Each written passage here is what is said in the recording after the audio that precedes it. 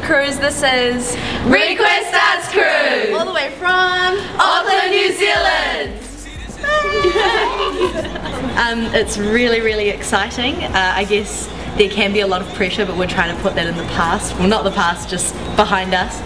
Um, we're just practicing really, really hard just because we're so excited to be here. Like, just being on the world stage is so amazing, and um, we just really want that feeling again. So, The hip hop scene in New Zealand is um, a lot different to the American scene. It's very small, but I would say the talent is, a, is very raw.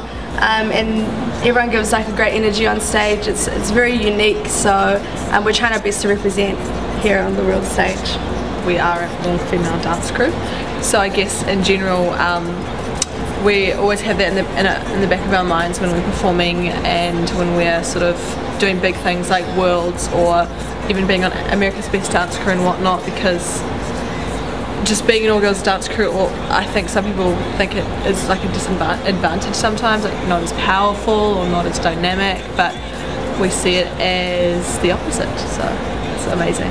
What makes us strong is, you know, women dancers, and it really is where we're from and how we were brought up. Um, and yeah, that's how we feel about our style. Poly swag. okay. Uh, to make sure that we win again, we're actually going to bring. Um,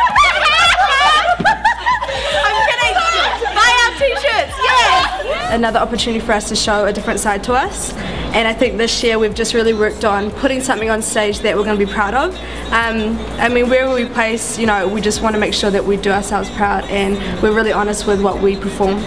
I guess so. After ABDC, um, I think, of course, there was a lot of controversy and a lot of people talking about us, good ways, bad ways, like saying we should stayed, saying um, like shame, you guys didn't make it to the end kind of thing. And so I think we, we really just wanted to sit down as a crew and think whatever our next step is, it, it, we need to make a statement. Um, so I guess there's a lot of inspiration behind Rebuilt. I mean, it, it, represents a lot of things. I think A, it represents a side that we didn't get to show on ABDC, which is kind of our poly swag. Um, also, it kind of just said to everyone that even though we didn't make it to the end of ABDC as far as we wanted to, I think for us just being on the show was enough.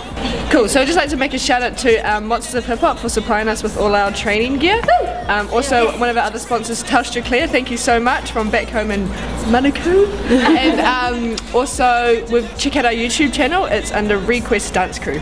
Shout out to House of Crews! Subscribe, subscribe,